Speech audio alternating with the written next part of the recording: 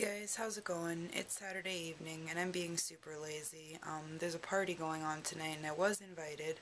I'm not sure if I'm going to go or not. I guess it depends on whether my sisters make it back to the house in time to go or not. Um, how many times can I say or not in one video? Let's find out.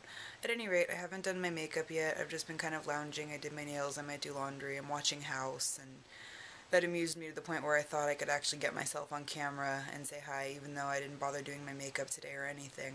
So anyway, hello, here's today's video, another whole lot of nothing. Um, I'm sorry, I've been lazy, it's my weekend, I've been just relaxing and having a good time, so I hope you guys are having a fantastic weekend too, and I will see you all tomorrow. Bye.